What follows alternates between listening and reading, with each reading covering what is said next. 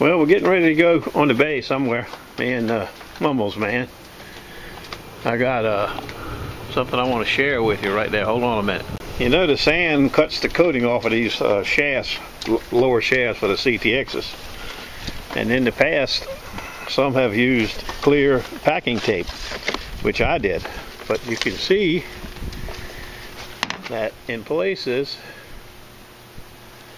the tape is wearing off. So I've got some new stuff on here called rubber coating. The Mumbles man has been using it for about two or three weeks and it seems to work really good. I got uh, put one coat on the other day and another coat on today.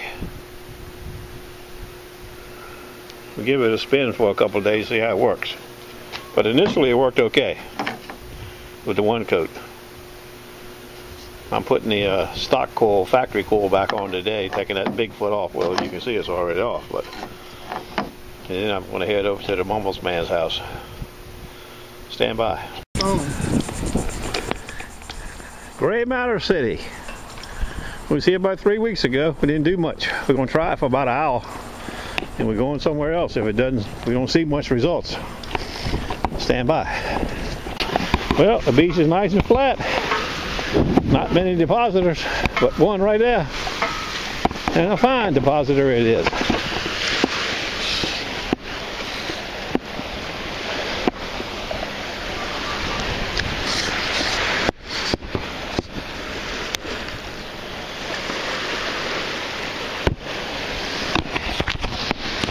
I think she's the same one we saw the last time we was here. She must live here or something.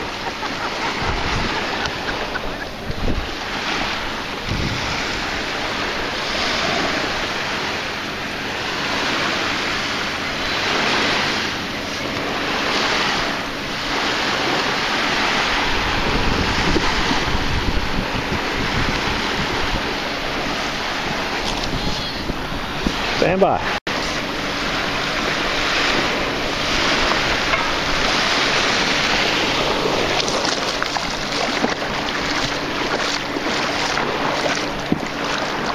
I think you were here last time I was here. You've been here all week. How you doing? I'll let you know in about an hour. See you later. Well, the first target is a strong 12 15. I don't know if it's a nickel or not, but I tell you one thing, boy, it is a nice sound. This is four inches deep. It's still in there too.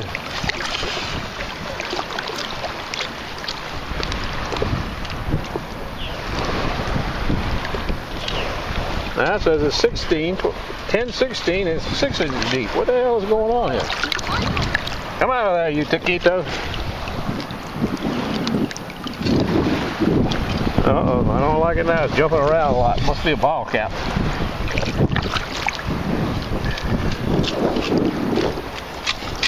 I hear something rattling. Yep, I knew that's what it was. Corona. Damn, I got the screen big enough.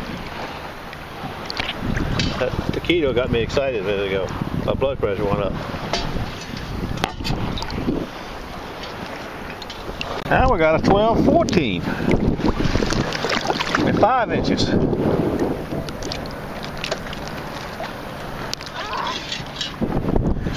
Not on the first scoop.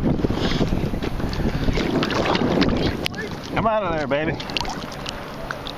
I hear it rattling. Oh, we're getting better. Bud Light this time. You turkey. God. I think I just got hit by a stingray. Right on the left hand side of my foot. Can't show it to you, but you see the blood. I'm squeezing the blood out of it now. A really sharp, fast pain. Like a bee sting. I mean, it's not over painful, it's just like a throb. It's been such a long time since I had a bee sting, I don't know what a bee sting would be like.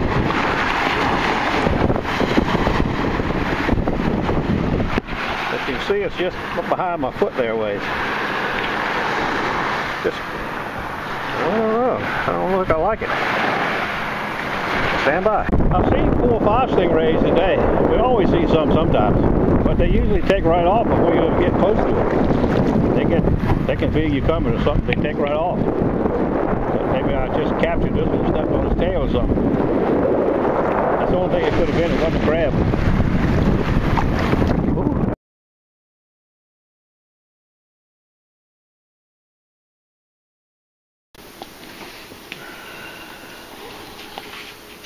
Well, I'm back from the stock in the box.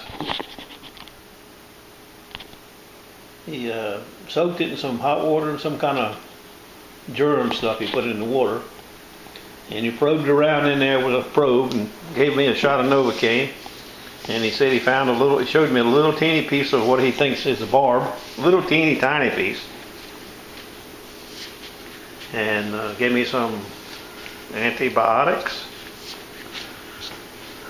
it said stay out of the water for a few days. I'll have to get me a boot, I guess. Where's the drugs at?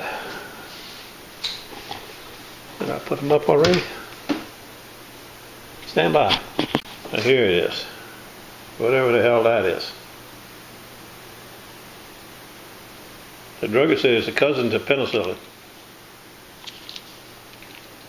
Got to take that for four or five days. Well, then that, it ain't too bad.